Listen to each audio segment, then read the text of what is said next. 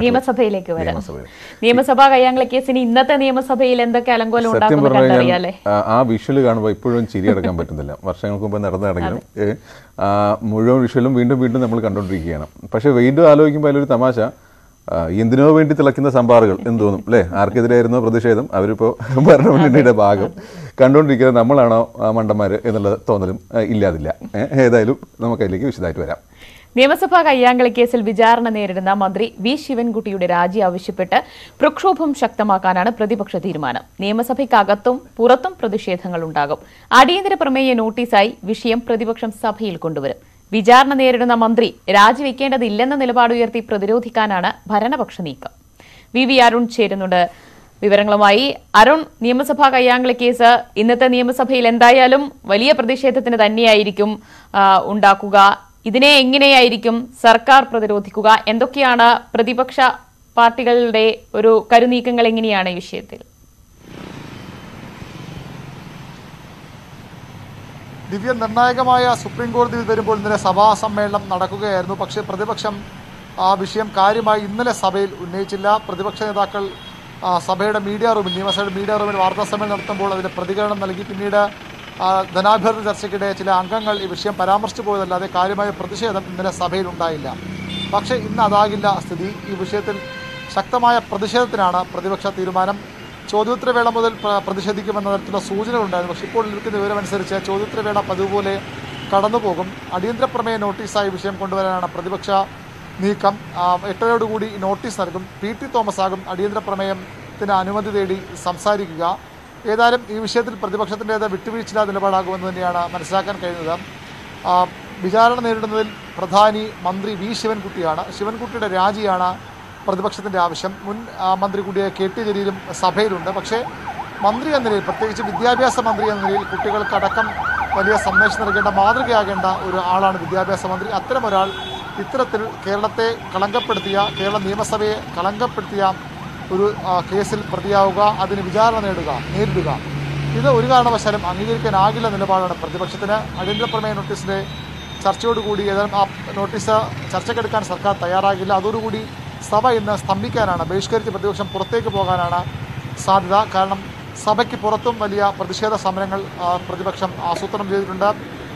പ്രതിപക്ഷ യുവജന സംഘടനകൾ നിയമസഭയിലേക്ക് മാർച്ച് നടത്തുന്നുണ്ട്. മന്ത്രി വി. ശിവൻകുട്ടിയെ വഴിയിൽ തടയുമെന്നടക്കമുള്ള പ്രഖ്യാപനങ്ങളുണ്ട്. ബി ജെ പിയുടെ വലിയ സമരങ്ങൾ പുറത്ത് ഇന്ന് ഇതേ വിഷയത്തിൽ നടക്കാനുണ്ട്. അതുകൊണ്ട് തന്നെ സഭയ്ക്കകത്തും പുറത്തും വലിയ പ്രതിഷേധത്തിലാണ് പ്രതിപക്ഷം തയ്യാറെടുക്കുന്നത്. മറുഭാഗത്ത് സർക്കാരാകട്ടെ വി ശിവൻകുട്ടിക്ക് പൂർണ പിന്തുണയാണ്. വി ശിവൻകുട്ടി ഉൾപ്പെടെ ആ കേസിൽ പ്രതികളായ മുഴുവൻ നേതാക്കൾക്കും പൂർണ പിന്തുണയാണ് സി പി എം നേതൃത്വം ഇടതുമുന്നണി നേതൃത്വം വാഗ്ദാനം ചെയ്തിരിക്കുന്നത്. ശിവൻകുട്ടിയുടെ രാജി എന്ന ആവശ്യം പ്രതിപക്ഷം ഇന്നത്തെ ഉയർത്തുമ്പോൾ രാജിവെക്കേണ്ട കാര്യമില്ലെന്ന് അസന്ധിഗ്ധമായി സി പി എം നേതൃത്വം നിലപാടെടുക്കുന്നു. അതിനവർ കാരണം പറയുന്നത് ഒരു ഭാഗം മാത്രം കേട്ടാണ് കോടതിയിൽ ഇത്തരമൊരു തീരുമാനത്തിലേക്ക് വന്നത്. മാത്രവുമല്ല ഇത് കോടതിയുടെ ഒരു ശിക്ഷാവിധിയോ അല്ലെങ്കിൽ കേസിന്റെ മെറിറ്റിലേക്ക് കടത്തുള്ള തീരുമാനവുമല്ല. മറിച്ച് ഈ കേസ് പിൻവലിക്കണമെന്ന കാര്യത്തിൽ മാത്രമാണ് പിൻവലിക്കേണ്ട നിലപാട് മാത്രമാണ് സുപ്രീം കോടതി സ്വീകരിച്ചത്.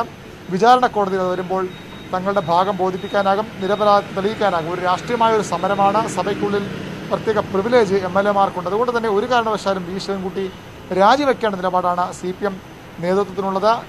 സഭയിലും ഇന്ന് മുഖ്യമന്ത്രിയാകും ഈ അടിയന്തര പ്രമേയ നോട്ടീസിന് മറുപടി പറയുക. അപ്പോൾ മുഖ്യമന്ത്രിയും ഇതേ നിലപാട് സ്വീകരിക്കും. വി. ശിവൻകുട്ടിയെ ഇതിൽ പ്രതികളായ മറ്റു നേതാക്കളെ പൂർണമായും സംരക്ഷിച്ചുകൊണ്ട് തന്നെയാകും മുഖ്യമന്ത്രി പിണറായി വിജയനും സഭയിൽ നിലപാടെടുക്കുക. ഏതായാലും വി. ശിവൻകുട്ടി ഇന്നും സഭയിൽ ഉണ്ടാകില്ലെന്നാണ് നമുക്ക് ലഭിക്കുന്ന വിവരം. അദ്ദേഹം കഴിഞ്ഞ കുറച്ച് ദിവസങ്ങളായി പനി ബാധിച്ച് ആശുപത്രിയിൽ ചികിത്സയിലായിരുന്നു. പിന്നീട് അദ്ദേഹം ഇന്നലെ കഴിഞ്ഞ ദിവസം വീട് വീട്ടിലേക്ക് മാറുകയും ചെയ്തു. വീട്ടിൽ പോയത് വിശ്രമത്തിലാണ്. അതിനിടയിലാണ് ഇന്നലെ പ്ലസ് ടു റിസൾട്ട് പ്രഖ്യാപിക്കാൻ ഫലപ്രഖ്യാപനത്തിന് അദ്ദേഹം സെക്രട്ടേറിയറ്റിലെത്തിയത് അതിനുശേഷം വീണ്ടും വിശ്രമത്തിലാണ്. അതുകൊണ്ട് തന്നെ കഴി അടുത്ത അഞ്ച് ദിവസത്തേക്ക് കൂടി വി. ശിവൻകുട്ടിക്ക് പൊതുപരിപാടികളൊന്നുമില്ല അദ്ദേഹം സഭയിലും എത്തില്ല. എങ്കിലും പ്രതിപക്ഷം വി. ശിവൻകുട്ടി രാജി ആവശ്യപ്പെട്ടുകൊണ്ട് ശക്തമായ പ്രതിഷേധം തന്നെയാണ് തയ്യാറെടുക്കുന്നത്.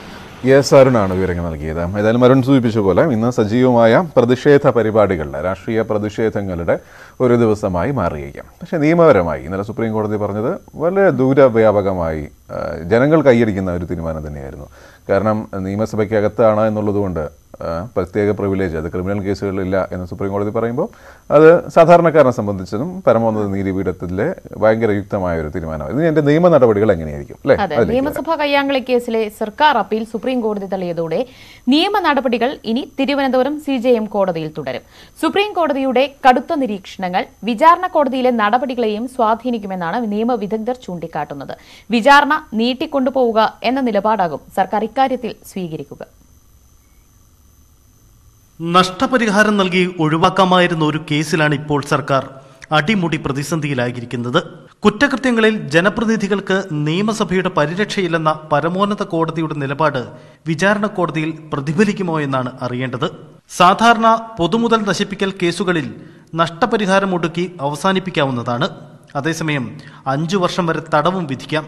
സുപ്രീം കോടതി ഇടപെടൽ വന്നതോടെ പ്രതികളെ ശിക്ഷിക്കാനുള്ള സാധ്യത കൂടുതലെന്നാണ് വിലയിരുത്തൽ. മന്ത്രിയും എം എൽ എയും വരെ ഉൾപ്പെട്ട കേസായതിനാൽ വിചാരണ നീട്ടിക്കൊണ്ടുപോകാനായിരിക്കും സർക്കാർ ശ്രമം. വിചാരണ നീണ്ടുപോയാൽ പരാതിയുമായി കോടതിക്ക് മുന്നിലെത്താൻ പ്രതിപക്ഷത്തിനും കഴിയും. എന്തായാലും കേസുമായി ബന്ധപ്പെട്ട ഓരോ നടപടികളും വലിയ വാർത്തയാകുമെന്ന് ഉറപ്പ്. News eighteen Thiruvananthapuram. ഏതായാലും ഇത് സംബന്ധിച്ച് നേരത്തെ പറഞ്ഞ പോലെ നിയമ നടപടികൾ ഒരു ഭാഗത്ത് രാഷ്ട്രീയ നടപടികൾ ഒരു ഭാഗത്ത്. ഏതായാലും നശിപ്പിക്കപ്പെട്ടത് പൊതുമുതലാണ്. നമ്മളുടെ ഓരോരുത്തരുടെയും മുതൽ. അതുതന്നെയാണ് സുപ്രീം കോടതി പറഞ്ഞത് അല്ലേ? ഏതായാലും മറ്റ് വാർത്തകളിലേക്ക് വരാം. സംസ്ഥാനത്ത് കൂടുതൽ ലോക്ക്ഡൗൺ ഇളവുകൾ പ്രഖ്യാപിച്ചു. ഫോട്ടോ സ്റ്റുഡിയോകൾക്ക് പ്രവർത്തന അനുമതി നൽകി. വിത്തുകളും കീടനാശിനികളും വിൽക്കുന്ന കടകൾ തുറക്കും. ശനിയും ഞായറും സമ്പൂർണ ലോക്ക്ഡൗൺ തുടരും.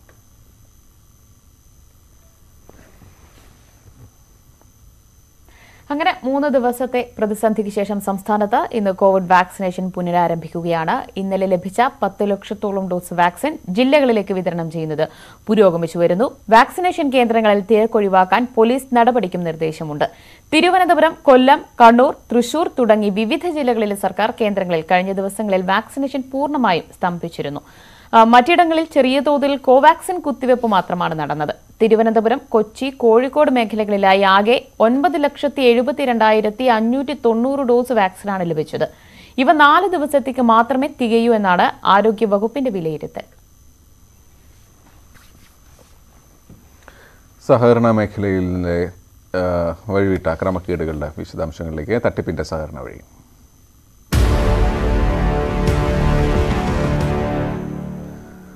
കരുവന്നൂർ സഹകരണ ബാങ്കിന് തട്ടിപ്പിലെ രാഷ്ട്രീയ വിവാദങ്ങൾക്കിടെ ആശങ്കയിലാണ് വായ്പാ തട്ടിപ്പിനിരയായ സാധാരണക്കാർ. രണ്ടായിരത്തി പതിമൂന്നിൽ നാല് ലക്ഷം രൂപ ലോൺ എടുത്ത ഗീതയോട് ഇരുപത്തിയെട്ട് ലക്ഷം രൂപ അടയ്ക്കാനാണ് ഒരു മാസം മുമ്പ് ബാങ്ക് അധികൃതർ ആവശ്യപ്പെട്ടത്. പാസ്ബുക്കും ഇതുവരെ പണമടച്ചതിന്റെ രസീതും ബാങ്ക് അധികൃതർ നൽകിയിട്ടില്ല എന്നും ഗീത പറയുന്നു. ജപ്തി നടപടികൾ തൽക്കാലത്തേക്ക് നിർത്തിവെച്ചെങ്കിലും ഇവരുടെ ആധിക്ക് ശമനമില്ല. ആകെയുള്ള പതിനെട്ട് സെന്റ് സ്ഥലവും വീടും പണയം വെച്ചാണ് രണ്ടായിരത്തി പതിമൂന്നിൽ ഗീത നാല് ലക്ഷം രൂപ വായ്പയെടുത്തത് തിരിച്ചടവ് മുടക്കിയിട്ടില്ലെങ്കിലും അർബുദ രോഗിയായ അമ്മയുടെ ചികിത്സയ്ക്ക് വേണ്ടി രണ്ടായിരത്തി പതിനഞ്ചിൽ വായ്പ എട്ട് ലക്ഷത്തിന് പുതുക്കിവെച്ചു ഇതിനിടയിൽ സഹോദരി നൽകിയ ഒരു ലക്ഷം രൂപയും ബാങ്കിൽ അടച്ചിരുന്നു. എന്നാൽ പാസ്ബുക്കോ പണം അടച്ചതിന്റെ രസീതു നൽകിയില്ലെന്ന് ഗീത പറയുന്നു. രണ്ടായിരത്തി പതിനെട്ടിൽ ഇരുപത്തിയൊന്ന് ലക്ഷം രൂപ ഉടൻ അടച്ചില്ലെങ്കിൽ വീടും സ്ഥലവും ജപ്തി ചെയ്യുമെന്ന് നോട്ടീസ് വന്നു. ഈ തുക ഇരുപത്തിയെട്ട് ലക്ഷമായെന്നും ഉടൻ അടയ്ക്കണമെന്നും ഒരു മാസം മുമ്പ് ബാങ്ക് അധികൃതർ അറിയിച്ചതായി ഗീത പറഞ്ഞു. ബ്രാഞ്ച് മാനേജർ വന്നിട്ട് എന്റെ വീട്ടിൽ പറഞ്ഞിരുന്നു ലോൺ അടയ്ക്കാണ്ടിരിക്കാൻ പറ്റില്ല എത്രയും പെട്ടെന്ന് അടച്ചോളൂ. പിന്നെ അവർ പറഞ്ഞു എന്റെ പൈസ എടുത്തിട്ടാണ്. നിങ്ങൾക്കൊക്കെ തന്ന പൈസയാണ് ഞങ്ങൾക്ക് കിട്ടാത്തത് കൊണ്ടാണ് കോപ്പറേറ്റീവിൽ പൈസ കൊടുക്കാൻ പറ്റാത്തതെന്ന് പറഞ്ഞ് അവർ ഭീഷണിപ്പെടുത്തുണ്ടായി. ഭീഷണിപ്പെടുത്തി എന്നെ. ഞാൻ അടച്ചിരുന്ന പൈസയുടെ റെസീപ്റ്റ് എനിക്ക് അവർ ചെല്ലുമ്പോൾ സിസ്റ്റം കംപ്ലൈന്റാന്ന് പറഞ്ഞിരുന്നത് എനിക്ക് തന്നിട്ടില്ല. ഇപ്പോൾ അതിന് ശേഷം ഇപ്പോൾ ജപ്തി നോട്ടീസ് വന്നിരിക്കുന്നത്. മുപ്പത് ലക്ഷമാണെന്ന് പറഞ്ഞിട്ട് ജപ്തി നോട്ടീസ് വന്നിരിക്കുന്നുണ്ട് എന്റെ പാൽ വിറ്റാണ് ഗീതയുടെ ഉപജീവനം. രോഗിയായ വലിയമ്മ അടക്കമുള്ള കുടുംബത്തിന്റെ ഏക അത്താണിയാണ് ഗീത. മകൾക്ക് ഫീസ് അടയ്ക്കുന്നത് ഉൾപ്പെടെയുള്ള ചെലവുകൾക്കും ബുദ്ധിമുട്ടുകയാണ് ഇവർ. രണ്ടായിരത്തി പതിമൂന്നിൽ കുറച്ച് അവരൊരു ഇതിൽ പതിച്ച് പതിച്ചു തരുന്നത് പിന്നെ അത് പതിക്കലില്ല. പൈസ അവിടെ കൊടുത്തിങ്ങനെ പോരും നമുക്ക് നമുക്ക് വിശ്വാസമാണ്. കോപ്പറേറ്റീവ് പൊളിയില്ല എന്നുള്ളൊരു വിശ്വാസം. അതുകൊണ്ടാണ് ഞങ്ങളാണ് നിന്നിരുന്നത് പക്ഷേ കോപ്പറേറ്റീവ് ഇത്ര പെട്ടെന്ന് ഇങ്ങനെ ആവും എന്നുള്ളത് പ്രതീക്ഷിച്ചില്ല. ജപ്തി നടപടികളിൽ നിന്ന് രക്ഷപ്പെടാൻ ഹൈക്കോടതിയെ സമീപിച്ചിരിക്കുകയാണ് ഈ വീട്ടമ്മ. സഹകരണ സംഘത്തോടുള്ള വിശ്വാസം കൊണ്ടാണ് ഈ വീട്ടമ്മ സഹകരണ ബാങ്കിൽ നിന്ന് തന്നെ ലോൺ എടുത്തത്. എന്നാൽ പാസ്ബുക്ക് ഉൾപ്പെടെയുള്ള ഒരു രേഖകളും നൽകാതെ ചതിക്കപ്പെടുകയായിരുന്നു. ജപ്തി നടപടികൾ തൽക്കാലം ഇല്ല എങ്കിലും ഈ ലോണുകളുടെ കാര്യത്തിൽ എന്താകും തീരുമാനമെന്നറിയാതെ ആശങ്കയിലാണ് ഇവർ. ക്യാമറമാൻ കെ പി ധനേഷിനോടൊപ്പം സുവി വിശ്വനാഥൻ ന്യൂസ് എയ്റ്റീൻ തൃശൂർ. അവർ ആ പറഞ്ഞ വാക്കുകളാണ് ഏറ്റവും പ്രസക്തം അല്ലേ? നമ്മളെ ബാങ്കല്ലേ നല്ല വിശ്വാസത്തിലായിരുന്നു എന്ന് ശരിക്കും ഇത് സാധാരണക്കാർക്ക് സഹകരണ ബാങ്കിലെ വിശ്വാസ്യത നഷ്ടപ്പെടാനല്ലേ ഈ രീതിയിലുള്ള തട്ടിപ്പ് കാരണമാകുന്നത്? എത്രത്തോളം ആൾക്കാരാണ് ലോൺ എടുത്ത്? അത് നാലും അഞ്ചും ലക്ഷം എടുത്ത് നമ്മളെപ്പോലുള്ള വളരെ സാധാരണക്കാർ ഏറ്റവും വിശ്വസിക്കുന്ന ഒരു ബാങ്കാണ്. അത് ഒരിക്കലും ആ വിശ്വാസം നഷ്ടപ്പെട്ടു കഴിഞ്ഞാൽ അത് വലിയ ബുദ്ധിമുട്ടാവും ഭാവിയിലേക്കും. അതുകൊണ്ട് തന്നെ സർക്കാരും സർക്കാരാവട്ടെ മറ്റുള്ളവരാവട്ടെ അതിനുള്ള സംവിധാനങ്ങൾ ഒരുക്കും കൂടുതൽ സുതാര്യമായി കാര്യങ്ങൾ നടത്തുമെന്ന് പ്രതീക്ഷിക്കാം. കാരണം അവരുടെ ആ വാക്കുകളിൽ നിന്ന് അതെല്ലാം ഉണ്ട്. അതിന്റെ ഭാഗമായി തന്നെയാണ് ഗോപി സഹകരണ ഓഡിറ്റ് സ്വതന്ത്ര സംവിധാനമാക്കാൻ സർക്കാർ തീരുമാനിച്ചു കഴിഞ്ഞിരിക്കുകയാണ്. സഹകരണ വിജിലൻസും ശക്തിപ്പെടുത്തും. ക്രമക്കേടുകളിൽ നേരിട്ട് നിയമ നടപടിക്ക് അധികാരം നൽകാൻ സഹകരണ നിയമത്തിലും സി ആർ പി സിയിലും ഭേദഗതിക്കും തീരുമാനമായിട്ടുണ്ട്. കരുവന്നൂർ സഹകരണ ബാങ്കിലെ ഇടപാടുകാർക്ക് പുനരുദ്ധാരണ പാക്കേജ് മൂന്നാഴ്ചക്കകം തയ്യാറാക്കാനും സർക്കാർ തീരുമാനിച്ചു. കരുവന്നൂർ സഹകരണ ബാങ്ക് ക്രമക്കേടിന്റെ പശ്ചാത്തലത്തിലാണ് തീരുമാനങ്ങൾ.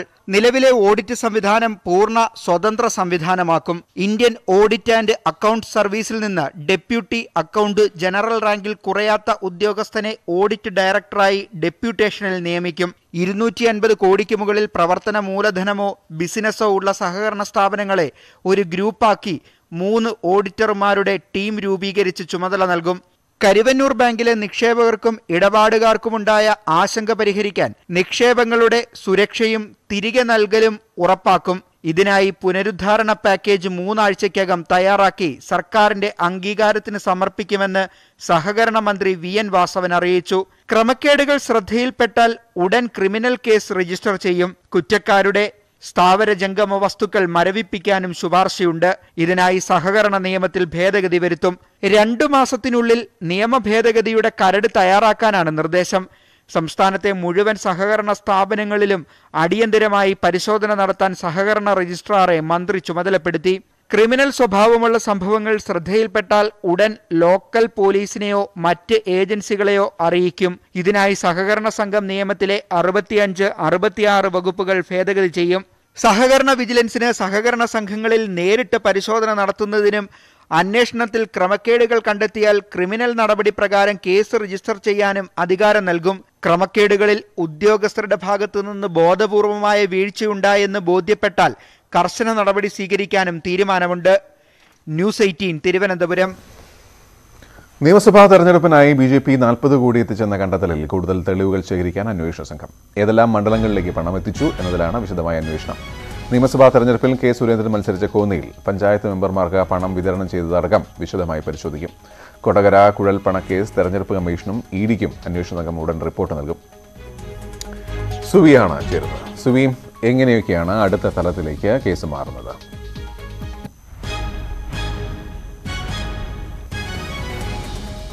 ഗോപി രണ്ട് തെരഞ്ഞെടുപ്പ് അട്ടിമറി കേസുകൾക്ക് പുറമെ മറ്റൊരു കേസ് കൂടെ ബി ജെ പിക്ക് തലവേദനയാവുകയാണ്. കൊടകര കുഴൽപ്പണ കേസിന്റെ അന്വേഷണം ഇനി തെരഞ്ഞെടുപ്പ് നായി പണം കൊണ്ടുവന്നതുമായി ബന്ധപ്പെട്ട കാര്യങ്ങളിലേക്ക് നീങ്ങുകയാണ്. ഇത്രയും കാലം കവർച്ചാ പണത്തിന്റെ ചുവട് പിടിച്ചായിരുന്നു അന്വേഷണമെങ്കിൽ ഇനി തീർച്ച ഇനി അന്വേഷണം പോകുന്നത് തീർച്ചയായും കേരളത്തിലേക്ക് നാൽപ്പത് കോടി രൂപ എത്തിച്ചു എന്നതുമായി ബന്ധപ്പെട്ടായിരിക്കും. അതിനുള്ള നീക്കത്തിലാണ്. ആ അതിനുള്ള കൂടുതൽ വിശദമായ അന്വേഷണം നടത്താൻ ഒരുങ്ങുകയാണ് അന്വേഷണ സംഘം. പ്രധാനമായും ബി ജെ പി തെരഞ്ഞെടുപ്പിന് നാൽപ്പത് കോടി രൂപ എത്തിച്ചു എന്ന കണ്ടെത്തലിൽ കൂടുതൽ തെളിവുകൾ ശേഖരിക്കാനാണ് ഒരുങ്ങുന്നത്. അതുപോലെ തന്നെ ഏതെല്ലാം മണ്ഡലങ്ങളിലേക്കാണ് ഈ പണം വന്നത് എന്ന കാര്യത്തിൽ ഒരു അന്വേഷണം നടത്തും. ഒപ്പം ബി ജെ പി സംസ്ഥാന അധ്യക്ഷൻ കെ സുരേന്ദ്രൻ പഞ്ചായത്ത് കെ സുരേന്ദ്രന്റെ മത്സരിച്ച കോന്നിയിൽ പഞ്ചായത്ത് മെമ്പർമാർക്ക് ധർമ്മരാജൻ പണം വിതരണം ചെയ്തു എന്നും കുറ്റപത്രത്തിൽ പറയുന്നുണ്ട്. ധർമ്മരാജന്റെ മൊഴിയും ഇതുമായി ബന്ധപ്പെട്ടുണ്ട്. ഈ കാര്യങ്ങളിലും അന്വേഷണം ഉണ്ടാകും എന്നാണ് നമുക്ക് അറിയാൻ സാധിക്കുന്നത്. ഏതായാലും നേരത്തെ തന്നെ കുറ്റപത്രത്തിൽ സൂചിപ്പിച്ചതുപോലെ തന്നെ എൻഫോഴ്സ്മെന്റ് ഡയറക്ടറേറ്റിനും അതുപോലെ തെരഞ്ഞെടുപ്പ് കമ്മീഷനും ഇൻകം ടാക്സിനും റിപ്പോർട്ട് നൽകും എന്ന് അന്വേഷണ സംഘം അറിയിച്ചിരുന്നു. അവർക്ക് ഉടൻ തന്നെ ഈ റിപ്പോർട്ടുകൾ കൈമാറും എന്നുമാണ് നമുക്ക് അറിയാൻ സാധിക്കുന്നത്. ഏതായാലും തെരഞ്ഞെടുപ്പ് അട്ടിമറിയിൽ അട്ടിമറി നടന്നോ എന്ന പരിശോധന പരിശോധന അട്ടിമറി നടന്നു എന്ന കാര്യത്തിൽ വിശദമായ അന്വേഷണം നടത്താൻ ഒരുങ്ങുകയാണ് കൊടകര അന്വേഷണ സംഘം. ഗോപി. തൃശൂരിൽ നിന്ന് സുവി വിശ്വനാഥനാണ് വിശദാംശങ്ങൾ നൽകിയത്.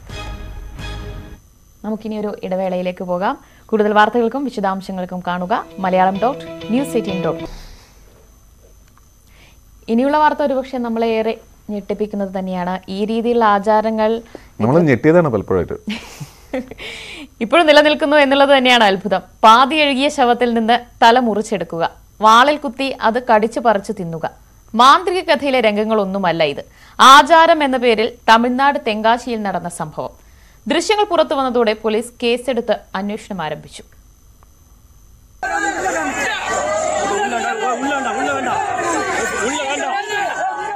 അതീവ രഹസ്യമായിട്ടൊന്നുമല്ല ഇത് നടന്നത്. തെങ്കാശി കല്ലാരണി ശക്തിമാടൻ സ്വാമി ക്ഷേത്രത്തിൽ ആർപ്പു വിളിക്കുന്ന ആൾക്കൂട്ടത്തിന് നടുവിലാണ് ഈ വൈകൃതം അരങ്ങേറിയത്.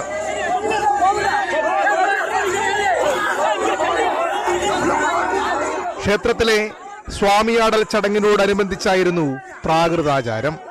രാത്രി പന്ത്രണ്ട് മണിയോടെ ശ്മശാനത്തിലേക്ക് പോയ പൂജാരിമാരിൽ ഒരാൾ മൃതദേഹത്തിൽ നിന്നും അറുത്തുമാറ്റിയ തലയുമായി ക്ഷേത്രത്തിൽ തിരിച്ചെത്തി. ഊരിപ്പിടിച്ച വാളിന്റെ തലപ്പത്ത് അഴുകിയ തലയുമായി തുള്ളിയുറഞ്ഞു പൂജാരിമാർ പിന്നെ നാല് പൂജാരിമാർ ചേർന്ന് തലയ്ക്ക് വേണ്ടിയുള്ള പിടിവലി. ഇടയ്ക്ക് അഴുകിയ തല കടിച്ചു പറിച്ചു തിന്നുന്നു.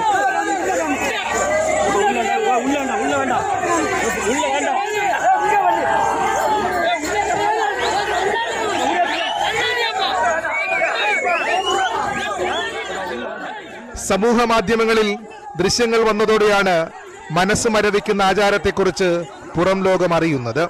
ഉത്സവത്തിന്റെ ഭാഗമായി പൂജാരിമാർ വേട്ടയ്ക്ക് പോകുന്നതാണ് സ്വാമിയാടൽ ചടങ്ങ്.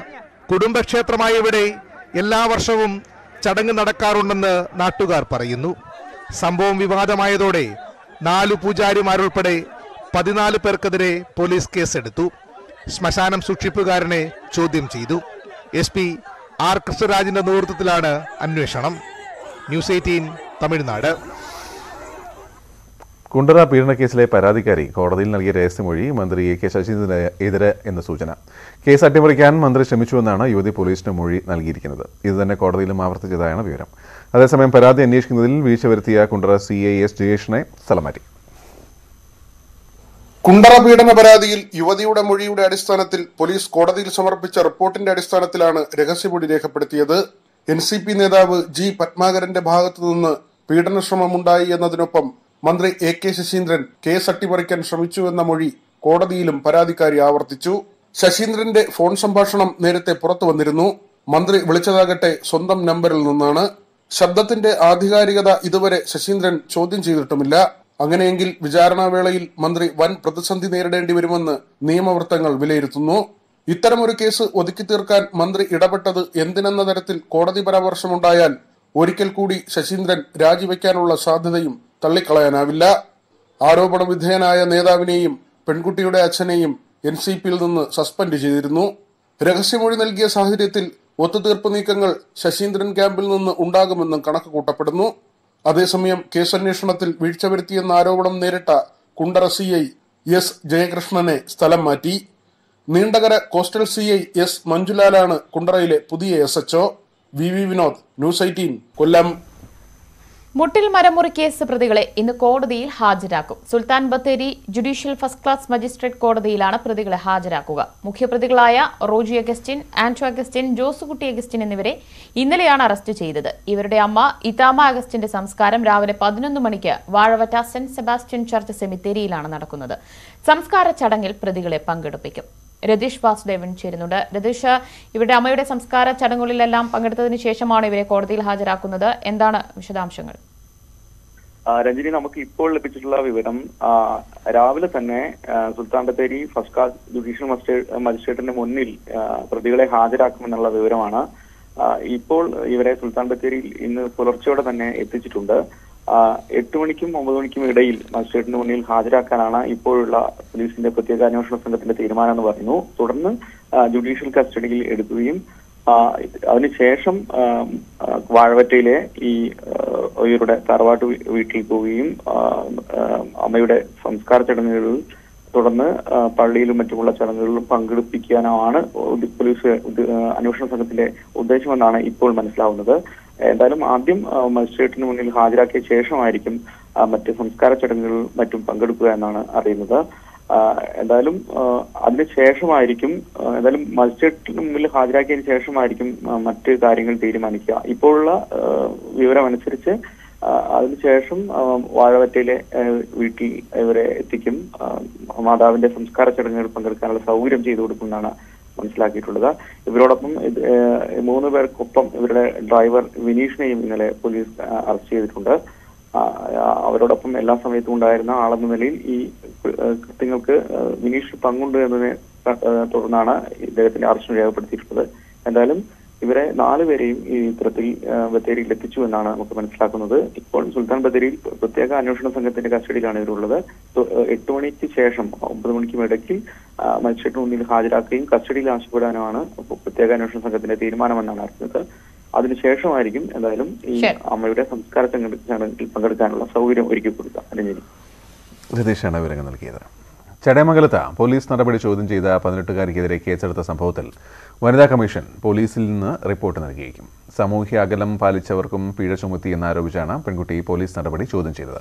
സംഭവം വിവാദമായതിനെ തുടർന്ന് ജാമ്യമില്ലാ വകുപ്പ് പ്രകാരമുള്ള കേസ് പോലീസ് ഒഴിവാക്കിയിരുന്നു. എന്നാൽ പെറ്റി അടക്കില്ലെന്ന നിലപാടിൽ ഉറച്ചു നിൽക്കുകയാണ് പെൺകുട്ടി. നിങ്ങൾ എന്നെ ഇങ്ങോട്ട് പഠിപ്പിക്കേണ്ട കാര്യമൊന്നുമില്ല. മനസ്സിലായോ? ഇതിന് ഉത്തരവാദപ്പെട്ട ജോലി ചെയ്യാൻ മനസ്സിലായല്ലേ പതിനെട്ടുകാരിക്കെതിരെ കേസെടുത്ത സംഭവത്തിൽ സ്വമേധയാണ് വനിതാ കമ്മീഷൻ ഇടപെടൽ. പെൺകുട്ടിക്കെതിരെയുള്ള കേസിന്റെ വിശദാംശങ്ങൾ അടങ്ങിയ റിപ്പോർട്ട് ഇരുപത്തിനാല് മണിക്കൂറിനകം സമർപ്പിക്കണമെന്ന് ചടയമംഗലം പോലീസിന് കമ്മീഷൻ നിർദ്ദേശം നൽകിയിരുന്നു. പെൺകുട്ടിയുമായി നേരിട്ട് സംസാരിക്കുകയുണ്ടായി. ഗൗരി നന്ദവയ്ക്കെതിരെ എടുത്തിട്ടുള്ള കേസുകളും ചുമത്തിയിട്ടുള്ള വകുപ്പുകളുടെയും വിശദമായ റിപ്പോർട്ട് അടിയന്തിരമായി കമ്മീഷന് സമർപ്പിക്കുന്നതിന് ചടയമംഗലം എസ് എച്ച് കമ്മീഷൻ നിർദ്ദേശം നൽകിയിട്ടുണ്ട്. പോലീസ് ഇന്ന് തന്നെ റിപ്പോർട്ട് നൽകുമെന്നാണ് കരുതുന്നത്. റൂറൽ എസ് പിയോട് യുവജന കമ്മീഷനും റിപ്പോർട്ട് തേടിയിട്ടുണ്ട്. ജാമ്യമില്ലാ വകുപ്പ് പ്രകാരം കേസെടുത്ത നടപടി വൻ വിവാദമായതിനെ തുടർന്ന് പോലീസ് ഒഴിവാക്കിയിരുന്നു. അതേസമയം പിഴയടക്കില്ലെന്ന നിലപാടിൽ ഉറച്ചു നിൽക്കുകയാണ് പതിനെട്ടുകാരി ഗൗരി നന്ദ. സംഭവം നടന്ന ബാങ്കിന് മുന്നിലെ സി സി ടി വി ദൃശ്യങ്ങൾ വിശദമായി പരിശോധിക്കണമെന്നും പെൺകുട്ടി ആവശ്യപ്പെടുന്നു. News eighteen Kollam. ജില്ലാ കമ്മിറ്റികളിലെ ഭൂരിപക്ഷം ഇടതുമുന്നണിയെയും സി പി എമ്മിനെയും ബോധ്യപ്പെടുത്താനൊരുങ്ങി ഐ എൻ എൽ വഹാബ് പക്ഷം. ഇന്നലെ ചേർന്ന കോഴിക്കോട് ജില്ലാ കമ്മിറ്റി സംസ്ഥാന അധ്യക്ഷൻ എ പി അബ്ദുൾ വഹാബിന് പിന്തുണ പ്രഖ്യാപിച്ചു. അബ്ദുൾ വഹാബ് ഇന്ന് സി പി എം നേതൃത്വവുമായി കൂടിക്കാഴ്ച നടത്തും.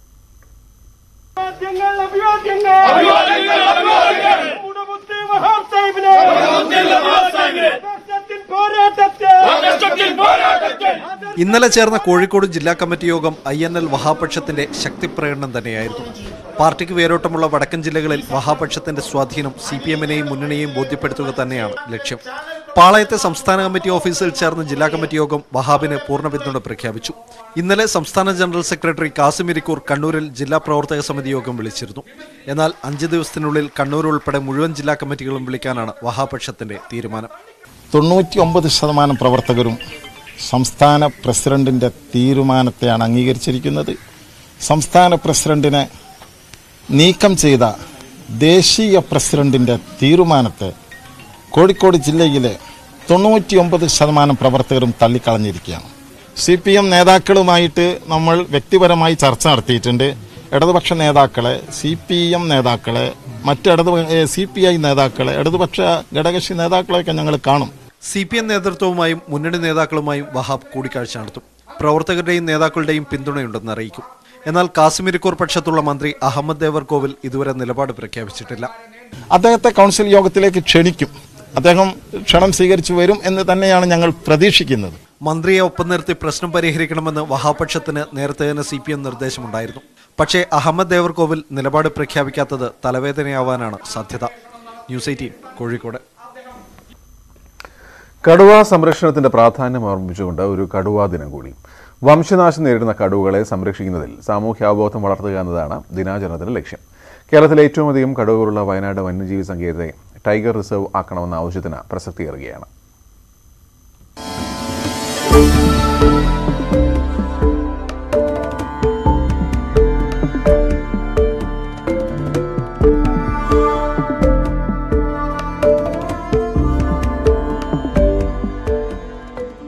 എഴുപത് ശതമാനം കടുവകളും ഇന്ത്യയിലാണ്. ബംഗാൾ കടുവ ഉൾപ്പെടെ അഞ്ചിനും കടുവകളാണ് ലോകത്തുള്ളത്. എവിടെയും കടുവകൾക്ക് പ്രധാന ഭീഷണി വേട്ടക്കാരാണ്. തോലിനും പല്ലിനും നഖത്തിനുമൊക്കെ വേണ്ടിയാണ് വേട്ടയാടൽ. ഇന്ത്യയുടെ ദേശീയമൃഗമായ കടുവകളുടെ എണ്ണം രാജ്യത്ത് വർദ്ധിക്കുന്നു എന്ന ശുഭകരമായ റിപ്പോർട്ടാണ് അടുത്തിടെ പുറത്തുവന്നത്. മൂവായിരത്തിലധികം കടുവകളുടെ ചിത്രങ്ങൾ വിവിധ വനങ്ങളിലെ ക്യാമറകളിൽ ലഭിച്ചിട്ടുണ്ട്. കേരളത്തിൽ ഇരുന്നൂറോളം കടുവകളെ കണ്ടെത്തിയിട്ടുണ്ട്. വയനാട് വന്യജീവി സങ്കേതത്തിലാണ് ഏറ്റവും അധികം. രണ്ടായിരത്തി പതിനെട്ടിലെ കണക്കെടുപ്പിൽ നൂറ്റി ഇരുപത് കടുവകളുടെ സാന്നിധ്യമാണ് ഇവിടെ സ്ഥിരീകരിച്ചത്. കേരള വനാതിർത്തിയോട് ചേർന്നാണ് ഏഷ്യയിലെ തന്നെ വലിയ കടുവ സംരക്ഷണ കേന്ദ്രങ്ങളിലൊന്നായ നാഗർഹോള ബന്ദിപ്പൂർ വനമേഖല. കേരളത്തിലെ ടൈഗർ റിസർവുകളായ പെരിയാറിലും പറമ്പിക്കുളത്തും കടുവ സംരക്ഷണത്തിന് വേൾഡ് വൈൽഡ് ലൈഫ് ഫണ്ട് ലഭിക്കുന്നുണ്ട്. വയനാടും ടൈഗർ റിസർവ് ആക്കണമെന്ന ആവശ്യം ശക്തമാണ്. കടുവകൾ അടക്കമുള്ള വന്യമൃഗങ്ങൾ നാട്ടിലിറങ്ങുന്ന സംഭവങ്ങൾ അടുത്ത കാലത്തായി വർദ്ധിച്ചിട്ടുണ്ട്. സംസ്ഥാനത്ത് പത്തു വർഷത്തിനിടെ ഏഴു പേർക്കാണ് കടുവയുടെ ആക്രമണത്തിൽ ജീവൻ നഷ്ടമായത്. ഇതിൽ അഞ്ചുപേരും വയനാട്ടിലാണ്. കടുവകൾക്കും വനാതിർത്തിയിലെ ജനങ്ങൾക്കും ഒരുപോലെ സുരക്ഷ വേണമെങ്കിൽ ടൈഗർ റിസർവ് പദ്ധതി നടപ്പാക്കണമെന്നാണ് പരിസ്ഥിതി പ്രവർത്തകർ ഉൾപ്പെടെ ചൂണ്ടിക്കാട്ടുന്നത്. News eighteen Wayanad. അമ്മക്കടുവ ഉപേക്ഷിച്ചു പോയ കടുവക്കുട്ടി ഇന്ന് ഇടുക്കി പെരിയാർ ടൈഗർ റിസർവിൽ കാട് കാണാനിറങ്ങും പത്ത് മാസം പ്രായമുള്ള മംഗള വേട്ടയാടൽ പരിശീലനത്തിനാണ് രാജ്യാന്തര കടുവാ ദിനത്തിൽ കാട്ടിലേക്ക് ഇറങ്ങുന്നത്. ദക്ഷിണേന്ത്യയിൽ ആദ്യമായാണ് കടുവക്കുട്ടിക്ക് ഇത്തരത്തിൽ പരിശീലനം നൽകുന്നത്. രണ്ടായിരത്തി ഇരുപത് നവംബർ ഇരുപത്തിയൊന്നിനാണ് മംഗളാദേവി വനമേഖലയിൽ നിന്ന് അറുപത് ദിവസം പ്രായമായ കടുവക്കുട്ടിയെ വാച്ചർമാർ കണ്ടെടുത്തത്. മംഗളയെന്ന് ഇവർ പേരും നൽകി. വനം വകുപ്പ് നൽകുന്ന ഭക്ഷണമൊക്കെ കഴിച്ചായിരുന്നു ഇതുവരെ മംഗളയുടെ ജീവിതം. ഇനി മുതൽ ഇര പിടിക്കണം. ഇരുപത്തിയഞ്ച് മീറ്റർ നീളവും വീതിയുമുള്ള കൂട്ടിലിട്ടാണ് മംഗളയെ ഇര പിടിക്കാനുള്ള പരിശീലനത്തിനായി കാട്ടിലേക്ക് ഇറക്കുന്നത്. ജീവനുള്ള ഇരയെ കൂട്ടിലേക്ക് തുറന്നുവിടുന്നതോടെ പരിശീലനം തുടങ്ങും. കാട്ടിൽ വലിയ മരങ്ങളും ശുദ്ധജല സ്രോതസ്സുമുള്ള സ്ഥലത്താണ് കൂട്. കടുവക്കുട്ടിയെ മറ്റു മൃഗങ്ങൾ ആക്രമിക്കാതിരിക്കാൻ കൂടിനു ചുറ്റും വേലിയുണ്ട്. നിരീക്ഷണത്തിനായി ക്യാമറകളും സ്ഥാപിച്ചു. അമ്പത് ലക്ഷത്തോളം രൂപയാണ് പരിശീലനത്തിന് ചെലവ്. ഇപ്പോൾ നമ്മൾ ചെയ്തിരിക്കുന്ന twenty five metre into twenty five metre length വിട്ടിലുമാണ് ചെയ്തിരിക്കുന്നത്. പ്ലസ് അതിന്റെ കൂടെ ഒരു ഒരു രണ്ട് റൂംസ് ഉണ്ട് അതിനകത്ത്. നമുക്ക് ആവശ്യം വന്നാൽ അതിനെ ലോക്ക് ചെയ്ത് എടുത്ത് എടുത്ത് ട്രീറ്റ് ചെയ്യുന്ന രീതിയിൽ പിന്നെ ഒരു സ്ക്യൂസ് ഗേജും ഉണ്ട്. അപ്പോൾ ടൈഗറിനെ അതിനോട് മാറ്റി എന്തെങ്കിലും ചികിത്സയ്ക്ക് മറ്റു വല്ലതും വേണമെങ്കിൽ നമ്മൾ അതിനോട്ട് മാറ്റി ചികിത്സിക്കാൻ പറ്റും ഹെൽത്ത് എങ്ങനെയുണ്ട് നല്ല കണ്ടീഷൻ. ഇതുവരെയും പ്രശ്നമൊന്നുമില്ല. സ്വന്തമായി വേട്ടയാടാനും കാടിനോട് ചേർന്ന് പോകാനുമുള്ള പരിശീലനം കഴിഞ്ഞാൽ മംഗളയെ പെരിയാർ ടൈഗർ റിസർവിലെ ഉൾവനത്തിൽ തുറന്നുവിടും. കൈകാലുകൾ തളർന്ന് അവശനിലയിലായി കാട്ടിൽ നിന്നും ലഭിച്ച ഈ കടുവക്കുട്ടിയെ തള്ളക്കടുവ കാട്ടിൽ ഉപേക്ഷിച്ചതായിരിക്കാമെന്നാണ് നിഗമനം. തള്ളക്കടുവയ്ക്ക് വേണ്ടി വനത്തിൽ ക്യാമറ സ്ഥാപിച്ച് തിരച്ചിൽ നടത്തിയിട്ടും സൂചനയൊന്നും ലഭിച്ചില്ല. തുടർന്നാണ് കടുവക്കുട്ടിയുടെ സംരക്ഷണം വനം വകുപ്പ് ഏറ്റെടുത്തത്. News eighteen Idukki. ഇനി ഏതായാലും നമ്മളൊരു ഇടവേളയ്ക്ക് പോവുകയാണ് ഇടവേളയ്ക്ക് ശേഷം ഒളിമ്പിക്സ് വിശേഷങ്ങളുമായി ഹലോ ടോസ് ടോക്കിയോ ഡെസ്കിൽ നിന്നും കൃഷ്ണാചാര്യം വളരെ പെട്ടെന്ന്.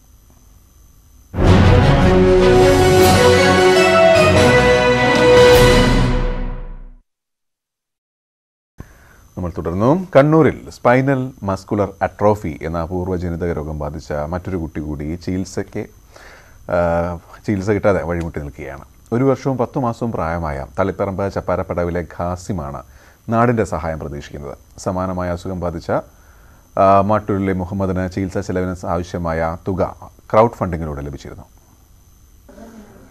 ചപ്പാരപ്പടവ് എം എ എച്ച് ആശുപത്രിക്ക് സമീപത്തെ പി പി എം ഫാത്തിമത്തുൾ ഷാക്കിറയുടെ മകനാണ് ഖാസിം. സ്പൈനൽ മസ്കുലർ അട്രോഫി ബാധിച്ച ഈ കുഞ്ഞിനും സാധാരണ ജീവിതം സാധ്യമാകണമെങ്കിൽ പതിനെട്ട് കോടി രൂപയുടെ മരുന്ന് വേണം. അതും രണ്ടു മാസത്തിനുള്ളിൽ. ഞാൻ കാസിമിന്റെ കാരണവറാണ് മുഹമ്മദ് സ്വാലിഹ്. അപ്പോൾ നമ്മളെ കുഞ്ഞുമോൻ കാസി ഏകദേശം ഒരു മുട്ടിലഴഞ്ഞ് നടക്കുന്ന സമയത്തൊക്കെ നല്ല ആരോഗ്യമൊക്കെ ഉണ്ടായിരുന്നു. അത് കഴിഞ്ഞ് നിൽക്കുന്ന നിൽക്കാൻ തുടങ്ങുന്ന ഒരു പ്രായത്തിലാണ് അവൻ തളരാൻ തുടങ്ങിയത്. ആദ്യം എനിക്ക് നിൽക്കാൻ പറ്റുന്നില്ല. കാൽ പെട്ടെന്ന് തളർന്നു പോകും. പിന്നെ നിൽക്കുമ്പോൾ വീണ് പോകും. കുറച്ച് കഴിഞ്ഞപ്പോൾ എനിക്ക് മുട്ടിൽ എഴയാൻ കൂടി സാധിക്കാൻ കഴിയാതെയായി എക്സൈസ് മന്ത്രി M V Govindan master K Sudhakaran M P എന്നിവർ മുഖ്യ രക്ഷാധികാരികളായി ചികിത്സാ കമ്മിറ്റി രൂപീകരിച്ചിട്ടുണ്ട്. ഈ ഒരു കമ്മിറ്റി എടുക്കുകയും അതിന്റെ കമ്മിറ്റിയുടെ പേരിൽ ഫെഡറൽ ബാങ്കിൽ ഒരു അക്കൗണ്ട് തുടങ്ങി അതുമായി ബന്ധപ്പെട്ടുള്ള ഒരു ചികിത്സാ പിരിവ് നമ്മൾ ചികിത്സയ്ക്കുള്ള സഹായധനം സ്വരൂപിക്കാനായി ഫെഡറൽ ബാങ്ക് ഏരിയം ശാഖയിൽ ജോയിന്റ് അക്കൗണ്ട് ആരംഭിച്ചിട്ടുണ്ട്. News eighteen Kannur. Pegasus phone ചോർത്തലിലും കർഷക സമരത്തിലും പാർലമെന്റിന്റെ ഇരുസഭകളും ഇന്നും പ്രക്ഷുബ്ധമാകും. ഫോൺ ചോർത്തൽ വിഷയത്തിൽ അന്വേഷണം വേണമെന്നും ചർച്ച ചെയ്യണമെന്നുമുള്ള ആവശ്യത്തിൽ ഉറച്ചു നിൽക്കുകയാണ് പ്രതിപക്ഷം. തുടർച്ചയായി ഏഴ് ദിവസം സഭാ നടപടികൾ തടസ്സപ്പെട്ടു. എന്നാൽ ചർച്ച അനുവദിക്കേണ്ടെന്ന നിലപാടിലാണ് ഇരുസഭകളുടെയും അധ്യക്ഷന്മാർ. സമ്മേളനം തുടങ്ങും മുൻപ് എല്ലാ ദിവസവും യോഗം ചേരാൻ പ്രതിപക്ഷ പാർട്ടികൾ തീരുമാനിച്ചിട്ടുണ്ട്. കാർഷിക നിയമങ്ങൾ പിൻവലിക്കണമെന്നാവശ്യപ്പെട്ട് കർഷകരുടെ കിസാൻ പാർലമെന്റ് ഇന്നും തുടരും. ദേശീയ തലത്തിൽ പ്രതിപക്ഷ ഐക്യനിര ശക്തമാക്കാൻ ഡൽഹിയിലെത്തിയ പശ്ചിമബംഗാൾ മുഖ്യമന്ത്രി മമതാ ബാനർജിയുടെ നിർണായക കൂടിക്കാഴ്ചകൾ തുടരുകയാണ്. ഇന്നലെ കോൺഗ്രസ് അധ്യക്ഷ സോണിയാഗാന്ധിയുമായി മമത കൂടിക്കാഴ്ച നടത്തിയിരുന്നു. പ്രതിപക്ഷ സഖ്യത്തെ ആര് നയിക്കും എന്നതല്ല വിഷയം. കൂട്ടായ മുന്നേറ്റമാണ് പ്രധാനമെന്ന് മമത പറഞ്ഞു. അഞ്ചു ദിവസത്തെ സന്ദർശനത്തിനായി ഡൽഹിയിലെത്തിയ മമതാ ബാനർജി പ്രതിപക്ഷ നേതാക്കളുമായുള്ള കൂടിക്കാഴ്ച തുടരുകയാണ്. ഡി എം കെ നേതാവും എം പിയുമായ കനിമൊഴിയുമായി ഇന്ന് മമത ചർച്ച നടത്തും. രാഷ്ട്രീയ നേതാക്കൾക്ക് പുറമെ കലാ സാംസ്കാരിക കായിക മേഖലകളിലെ പ്രമുഖരുമായും കൂടിക്കാഴ്ച നടത്തുന്നുണ്ട്. കവിയും ഗാനരചയിതാവുമായ ജാവേദ് അക്തർ ഭാര്യ ഷബാന ആസ്മി എന്നിവരെ മമതാ ബാനർജി ഇന്ന് കാണും. ഇന്നലെ കോൺഗ്രസ് അധ്യക്ഷ സോണിയാഗാന്ധിയുമായി കൂടിക്കാഴ്ച നടത്തിയിരുന്നു. രാഹുൽ ഗാന്ധിയും ചർച്ചയിൽ പങ്കെടുത്തു. രണ്ടായിരത്തി ഇരുപത്തിനാലിലെ പൊതു തെരഞ്ഞെടുപ്പ് രാജ്യവും മോദിയും തമ്മിലുള്ള പോരാട്ടമായിരിക്കുമെന്നായിരുന്നു കൂടിക്കാഴ്ചയ്ക്ക് ശേഷം മമതയുടെ പ്രതികരണം. പ്രതിപക്ഷ സഖ്യത്തെ ആര് നയിക്കുന്നു എന്നതല്ല വിഷയം. കൂട്ടായ മുന്നേറ്റമാണ് പ്രധാനമെന്നും മമത പറഞ്ഞു. ഡൽഹി മുഖ്യമന്ത്രി അരവിന്ദ് കെജ്രിവാൾ കോൺഗ്രസ് നേതാക്കളായ കമൽനാഥ് ആനന്ദ് ശർമ്മ എന്നിവരുമായും ആശയവിനിമയം നടത്തി. മുഖ്യമന്ത്രി എന്ന നിലയിൽ പ്രധാനമന്ത്രിയുമായി കൂടിക്കാഴ്ച നടത്തിയ മമത ഇന്ന് കേന്ദ്രമന്ത്രി നിതിൻ ഗഡ്കരിയെയും കാണുന്നുണ്ട്. K P Abhilash news eighteen Delhi.